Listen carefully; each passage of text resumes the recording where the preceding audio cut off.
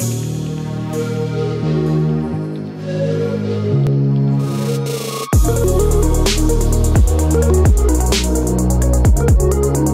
I'm Paul Wallace, creator of the YouTube channel Supercars of London, and I'm going to be presenting the top five greatest Mercedes Benz stunts. Let's get stuck in. At number five, a parkour athlete, an RC car, a C Class coupe, and a finishing line filled with obstacles. Number four spot.